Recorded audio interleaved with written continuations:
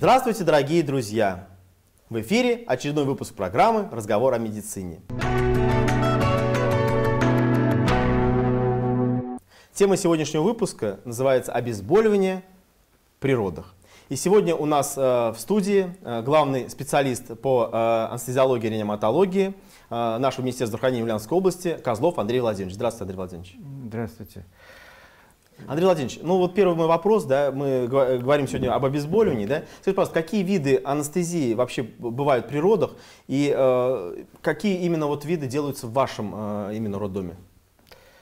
Знаете, я бы хотел, прежде чем мы начали вот этот угу. разговор, все-таки более э, широкую взять тему, Давайте. не только обезболивание родов, это достаточно узкое такое направление в нашей специальности, а вообще э, обезболивание в акушерстве, возможно. В это, целом? В целом, давайте, да. Это давайте. более, наверное, будет правильно для наших телезрителей. Потому что разные бывают вмешательства. Разные, да, да, совершенно угу. правильно, угу. совершенно разные вмешательства. И для понимания, наверное, всей этой проблемы, наверное, это будет правильно, когда мы широко шагнем по нашей, так скажем, специальности.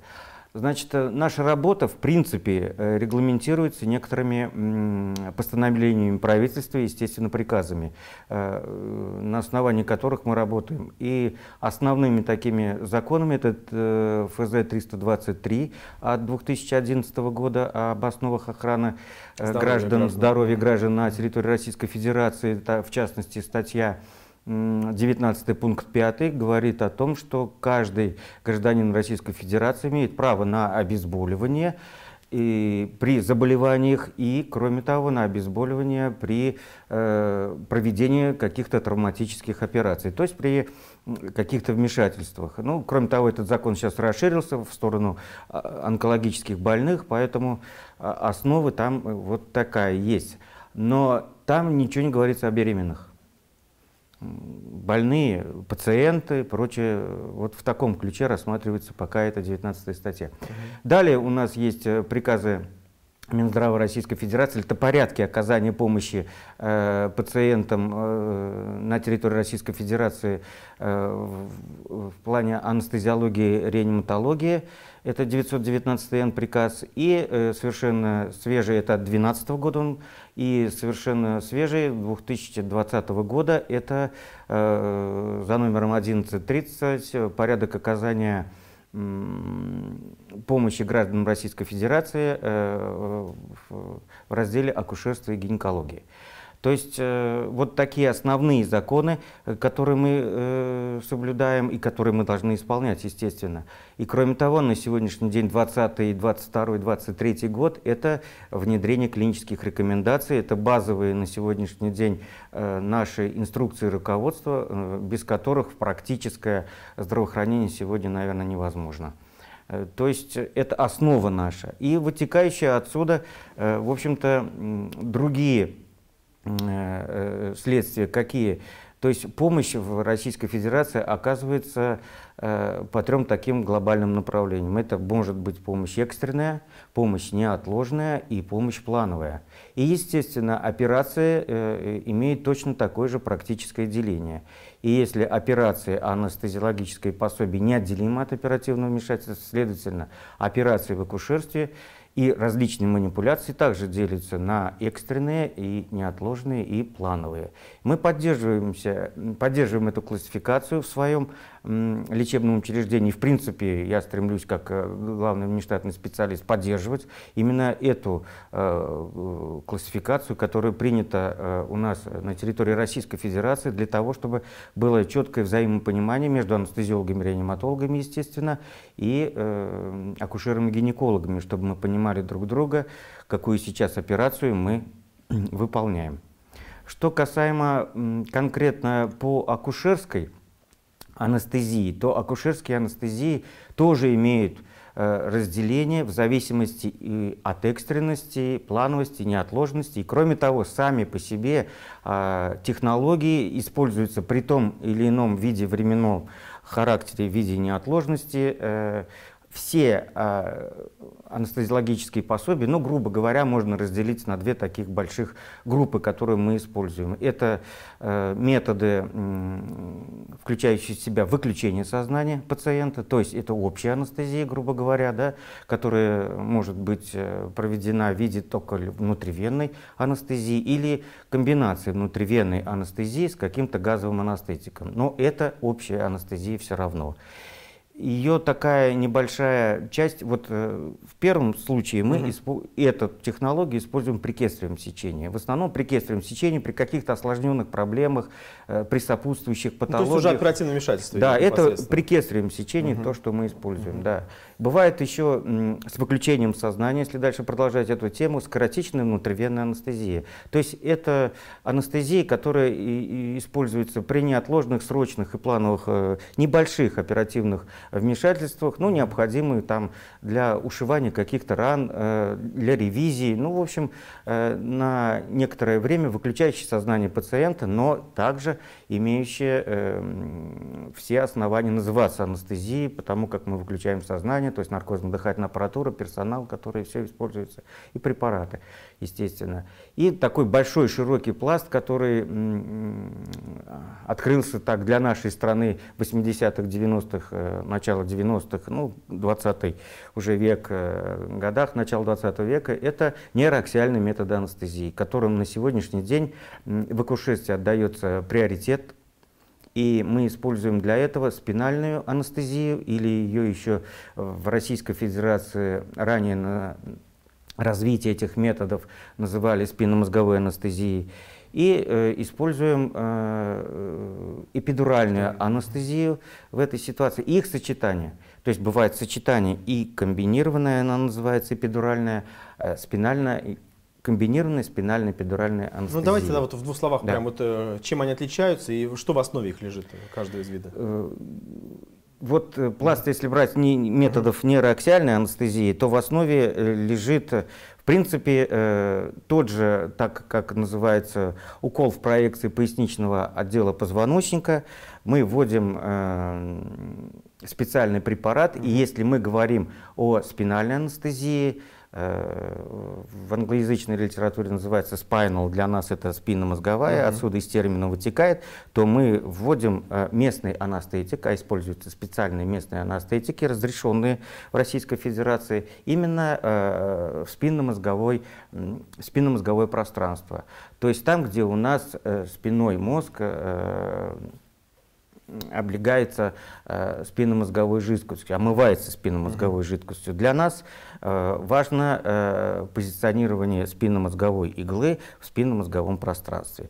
Мы вводим небольшое количество местного анестетика и получаем достаточно мощную анестезию, которая называется спинальная. То есть довольно эффективная. Да? А это достаточно эффективная mm-hmm. технология, да, прогрессивная, начало 19 века, правда, она достаточно старая, но тем не менее это очень надежная и самое лучшее, ну, в планах э, всех развития всяких э, осложнений проблем, безопасности, угу. анестезии, совершенно верно, угу. да.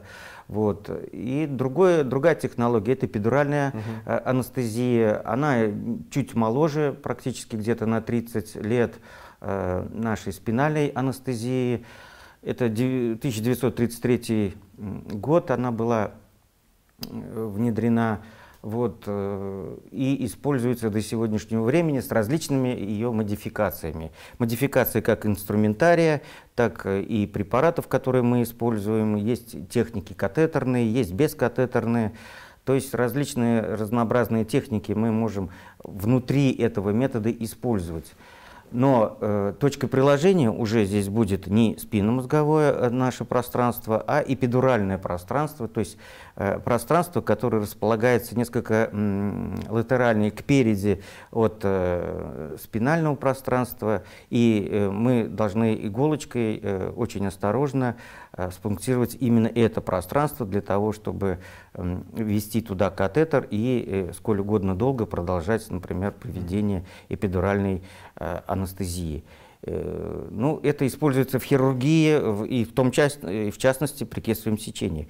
И кроме того, используется их сочетание как мы говорили уже, спинальная э, и э, эпидуральная анестезия в виде комбинированной спинальной эпидуральной анестезии. Она может быть двухуровневая, то есть когда мы пунктируем э, или делаем сначала эпидуральную анестезию, затем спинальную, но в одном и том же практически промежутке времени и начинаем операцию. Либо мы делаем это в родах, это бывает, иногда мы делаем это в родах, но используя другие совсем технологии, э, нежели э, при обезболивании кесарево сечения. И бывает одномоментное, то есть используется одноуровневая технологии, но для этого уже нужны специальные иглы, которые э, сочетают в себе как бы два в одном инструмент, э, и эпидуральную, и, и спинальную иглу. Вот для обезболивания родов на сегодняшний день предпочтение отдается, естественно, эпидуральной анестезии. Вот, э, в частности, мы используем... Здесь нужно оговориться немножко, что для обезболивания родов термин анестезии не совсем правомочен. Дело все в том, что сам термин анестезия э, в нашей специальности означает э, выключение всех видов чувствительности. Если же мы выключаем все виды чувствительности у женщины, которые находятся в родах, включая двигательную активность, двигательную активность матки, то роды, конечно, сами по себе э, без э, схваток э, ну, не пройдут должным образом, и мы не, не будем иметь конечного результата ребенка, потому как у нас нет родовой деятельности. Вот. Поэтому здесь мы используем термин аналгезию и технология называется эпидуральная аналгезия в родах, mm-hmm. которая не выключает все виды чувствительности, да? она выключает все виды чувствительности, mm-hmm. но сохраняет моторную чувствительность mm-hmm. и не выключает двигательную активность матки. Это очень важная mm-hmm. вот такая вот грань, когда мы должны именно добиваться аналгезии, а не анестезии, чтобы наша методика помогала женщине рожать, но ни в коем мере не тормозила родовую деятельность. Yeah. Андрей Владимирович, ну вот вы четко сказали, да, уже, что все индивидуально, да, и все, э, э, э, естественно, такой подход должен быть каждому пациенту да, такой да, да, да, индивидуальный. Но все-таки вот есть какие-то четкие показания и противопоказания вот именно в акушерской практике, именно вот обезболивания? Да, вот именно в акушерской практике, в принципе, по большому счету, наверное, если так сказать, угу. ну, наверное, особенности какие-то акушерские, конечно, имеют место быть, если мы говорим о нейроаксиальных э, технологиях, например, да, спинальные, эпидуральные их сочетания, то, в принципе, самое главное противопоказание, о котором мы сегодня должны говорить, это согласие пациента на эту манипуляцию. Ведь надо понимать, что все, о чем мы сейчас говорим, это инвазивная технология. Раз инвазивная технология, следовательно, мы нарушаем кожные покровы, как-то еще что-то. И, кроме того, любая анестезия имеет какие-то осложнения и все прочее. Все-таки это инвазивные... Ну, и, наверное, Андрей Владимирович, еще, может быть, непереносимость каких-то препаратов тоже. Да, это, это уже следующее, mm -hmm. да, непереносимость каких-то препаратов. -hmm. Например, э, к этому можно отнести, ну, например, человек когда-то делал какие-то манипуляции своими об этом зубами, даже. об этом знает и говорит, что я не переношу этот препарат. Естественно, это -hmm. абсолютно противопоказание ну, к ведению анамнеза, этого препарата. То есть, то есть угу. анамнез имеет место быть угу. обязательно. Здесь мы обязательно учитываем это, эти вещи. Кроме того, клинические проявления нейроаксиальных методов всегда ведут к гипотонии в определенном... То есть снижение давления. Снижение угу. давления, да. Угу. А и снижение давления, которое может вызвать спинальная анестезия, более выражено, нежели эпидуральная анестезия. Угу. Поэтому э, здесь мы тоже можем понимать, что вот э, э при в данной ситуации, вот именно в данной ситуации, спинальную анестезию желательно не использовать, например. А лучше и более мягко будет работать эпидуральная анестезия. И мы начинаем говорить с пациентом о необходимости все-таки вам в данной ситуации лучше провести эпидуральную анестезию, э, нежели спинальную, потому как у вас, вот, например, в анамнезе есть такие вот синдромы, да, когда сочетается артериальное низкое артериальное давление э, с низкой частотой пульса, например, пульс 50 5 и давление 85 на 90, и пациентка считает себя э, в удовлетворительном совершенно состоянии, но все вот такие вот параметры могут э, при введении местного анестетика в спинномозговой канал вызвать обвал гемодинамики, то есть резкое снижение артериального давления. И поэтому в этой ситуации мы можем порекомендовать более щадящую технологию. Она несколько, э, может быть, длительнее по выполнению, но тем не менее она э, таит в себе более выраженную безопасность по отношению к гемодинамике этой пациентки, поэтому мы рекомендуем вот в такой ситуации. Использовать все-таки щадящие методы. Да. а вот бытует еще такое мнение, да, что ну, вот э, наркоз и обезболивание, там, анестезия, э, что они могут как повлиять на здоровье человека э, в последующем, да, и могут быть даже повлиять на продолжительность жизни даже, да, то есть вот что наркоз может снизить, значит, уровень жизни, там, ну, продолжительность жизни, там до 10 лет даже, вот, да, вот это миф или вот как специалист, давайте скажем, или э, это ваше мнение? Ну, опять же, если мы говорим об акушерстве, да. мы уже решили, что 80-90% это нейроаксиальная анестезия. То есть, если люди боят, мы сейчас разговор ведем угу. о конгитивных ведь, да, каких-то угу. нарушениях, какие, какие-то могут быть такие вот последствия, что... Ну, отдаленные меня, даже. Да, отдаленные, угу. у меня резко снизилась память, у меня э, э, рассеялось внимание, я не понимаю, о чем вообще мы сейчас разговариваем и все такое прочее. То есть, это, я считаю, связано с анестезией. Ну, хотелось бы сразу сказать, во-первых, э, люди, э, которые рожают, они молодые люди. И поэтому здесь в данной ситуации все-таки э, уровень центральной нервной системы в таком возрасте э, обладает определенной защитой от разнообразных веществ. Ну, своеобразный иммунитет вводим, такой, да? да? Своеобразная защита у нас в таком возрасте имеет место быть, однозначно. Вот. Потом операция, если это доходит дело до операции, кесарево сечение, да, например, под общей анестезией, она всегда скоротечна. Она э, скороти... ну, в своей физиологической форме она скоротечная операция. Как бы мы ни хотели, все равно мы за 35-40 минут закончим операцию кесарево сечения, и поэтому длительность воздействия наших препаратов на организм, на центральную нервную систему человека фактически минимальна. Кроме того, мы используем препараты, которые жестко разрешены или запрещены использованию у беременных. То есть мы не можем себе позволить взять какой-то препарат, и если он фармакологически и фармакинетически не разрешен, или э, воздействие на, на мать или на плод, мы этот препарат, естественно, не используем. То есть все те препараты, которые разрешены на территории Российской Федерации к использованию в акушерстве, неоднократно или э, опыт десятилетиями говорит о том, что эти препараты на сегодняшний день безопасны. Кроме того, наша фармпромышленность э, во всем мире она совершенствуется, и наши препараты, которые мы используем в анестезиологической практике, все менее и менее э, обладают разнообразными побочными эффектами, токсичностью и все такое прочее. Но тем не менее, конечно, человек это организм, это, это биохимическая структура, которая, конечно, при внедрении каких-то других химических агентов может реагировать по-разному. И мы не можем предсказать эти реакции. Но на основе каких-то вот таких статистических э, данных популяции мы можем сказать, что да, в принципе на сегодняшний день э, утверждение о том, что если мы проведем вам кесарево сечение и завтра вы забудете таблицу умножения, это, конечно, из области мифов. Поэтому я думаю, что тем женщинам, которым противопоказаны нейроаксиальные методы обезболивания, а такие женщины есть, например, с фиксированным сердечным выбросом или с теми методами, о которых, от тех противопоказаний, о которых мы уже говорили, вот, им показано, например, кесарево сечение под общим обезболиванием, то здесь, я думаю, бояться нечего. Препараты все разрешенные, высокой степени очистки, ни на плод, ни на бань не окажут никакого отрицательного воздействия, и через год, в принципе, можно снова беременеть опять возвращаться к нашим технологиям. Андрей Владимирович, ну понятно, что вот лечение, любое лечение любого заболевания, да, оно проходит по стандартам, по клиническим рекомендациям. То же самое касается обезболивания, анестезии, это то же самое, да, вы об этом уже да, сказали. Да. Но вот э, все-таки э, женщина вправе, например, вот сказать, э, да, вот я хочу анестезию, я хочу, чтобы я, э, у меня прошли безболезненные роды. Да. Здесь вот врач должен какую-то тактику выбрать, да, все-таки убедить женщину, что она в, может и сама родить, там, ну, как я простыми словами да, скажу, да, да. да, без обезболивания, там, или все-таки вот прям э, идем навстречу, да, и вот хочет женщина обезболивание, значит, она его получит, да, или все-таки вот какие-то проводятся беседы, это какая-то тактика вот здесь поведения должна же быть все-таки выработана.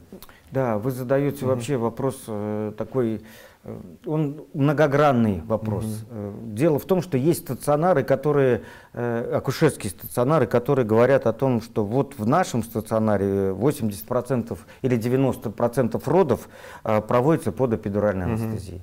Есть стационары, где э, э эпидуральная аналгезии в родах используется ну, процентов 30, например. Да? Вот есть соматическая патология у женщины какая-то, да, а мы используем вот эту инвазивную того, технологию, да, да, мы используем инвазивную именно технологию для того, чтобы облегчить вот э, вам ваше состояние в процессе родов, потому что могут развиться осложнения, о которых мы даже и не представляем пока, но на фоне аналгезии в родах это будет как бы снивелировано и будет все в принципе хорошо, одновременно и обезболивание, и одновременно и лечение возможно, да, той же гипертонии, все-таки эпидуральная аналгезия частично убирает болевой эффект, воздействие на вегетативную нервную систему снижает артериальную гипертензию, уменьшает эмоциональную напряженность, в общем-то, комфортность определенная создается. И мы, конечно, когда соматическая выраженная патология есть как у женщины изначально, да, так и она может и во время, э, в процессе родов возникнуть. Например, та же дискоординированная родовая деятельность, да, вот, э, скажем так, побочным эффектом нашей эпидуральной анестезии или аналгезии, да, в данной ситуации аналгезии все-таки является возможность этого метода коррегировать э, или восстанавливать нормальную родовую деятельность, которая по каким-то э, причинам, ну в основном это гормональные, конечно, причины женщины, э, приводят к дискоординированной родовой деятельности. Вот эти вот моменты мы mm -hmm. тоже учитываем э, в этой ситуации. Все-таки мы, как, как сказали в самом начале, все-таки Э, беременность это не заболевание, э, и все, что движется, нельзя обезболить так вот просто огульно. И мы должны здесь учитывать все-таки определенные показания, есть противопоказания, есть желание пациентки подойти к ней и сказать просто так, что да, мы вот сейчас вот э, возьмем иглу, вот возьмем катетер, мы спунктируем вам эпидуральное пространство, вам будет комфортно и все хорошо. Если человек не готов к этому, из чего бы это вы решили делать, то здесь э, вопросы, конечно, есть. Ну да, это же все-таки физиологический процесс, поэтому тут э, да, особый такой подход. Да, но все-таки тенденция, мировая тенденция, мы придерживаемся к этому, и к этой тенденции. Все-таки, угу. конечно, если есть возможность обезболивать что-то, болевой синдром, мы должны это делать. Андрей Владимирович, ну тогда давайте еще поговорим о том, что вот нужна ли какая-то подготовка перед обезболиванием вот со стороны самой женщины. То есть, может быть, какое-то питание нужно специально, какой-то режим соблюдать, там, я не знаю, там, образ жизни как-то, да, может быть, какие-то определенные, там, я не знаю, э, специальные э, позиции какие-то, да, во время родов, там, ну, давайте хотя бы в двух словах об этом тоже скажем. Да, это вообще вопрос очень тоже важный, угу. важный вопрос, по одной только причине, что если не соблюдать то, что рекомендуют врачи перед э, любой анестезией, да, можно э, получить такие осложнения, которые в акушерстве э, ну, вызывают потом очень серьезные проблемы, которые придется лечить. Поэтому, э, в принципе, анестезия должна быть защищена со всех сторон, и никаких осложнений у нас не должно быть. Но здесь, конечно, зависит кое-что от пациента. Но мы, когда беседуем э, перед родами, перед обезболиванием, там, кесарево сечение, перед родом мы обязательно э, осматриваем пациента, собираем анамнез. То есть это вот уровни защиты, которые нам позволяют склониться к тому или иному методу обезболивания, плюс мы э, в процессе анамнеза, да, То есть коррекция какая-то идет. Выявляем, угу. выявляем, да, насколько угу. какие-то проблемы более важные, какие-то проблемы можно э, снивелировать вот теми препаратами, которыми мы, возможно, сейчас ведем, и они нам э, уберут вот эти проблемы, которые возможны на вводном наркозе, например, у беременных. Вот. Но самое главное, если говорить о кесаревом сечении, угу. самые главные такие рекомендации, это нужно соблюдать щадящий режим по диете, это 6-8 часов, не должны употреблять пищу беременные перед этой операцией. И в течение ближайших двух часов нельзя, рекомендуется не употреблять уже э, бесцветные жидкости. Ну, например, э, можно до, этих, э, до этого времени, в течение вот этих вот, до интервала двух часов, да, э, пить только воду, прозрачный сок и прозрачные вообще жидкости, к которым, mm -hmm. кстати, относятся и чай, и кофе. Это тоже прозрачные жидкости. Вот, но э, жидкости, содержащие какие-то э, добавки в виде соков с мякотью, мы mm -hmm. не рекомендуем, mm -hmm. потому что эта жидкость уже непрозрачная. Вот, поэтому молоко – это тоже тяжелая жидкость. Коктейли какие-то тоже, наверное, да? Да, коктейли. Это все не рекомендуется. Угу. Если соблюдать хотя бы вот эти вот два правила перед общей анестезией, это уже большой плюс. Кроме того, мы уже начинаем соблюдать правила профилактики тромбоэмболических осложнений. Мы рекомендуем э, использовать эластический компрессионный трикотаж перед операцией, во время операции и э, после операции. Mm -hmm. То есть это профилактика тромбоэмболических осложнений. Все, что мы сейчас обсуждаем, закреплено в клинических рекомендациях. Кроме того, мы начинаем профилактику перед операцией антибактериальные профилактику. То есть мы профилактируем некоторые инфекции, которые возможно возможно, не обязательно, что это будет, а просто возможно, да. Ну, все-таки.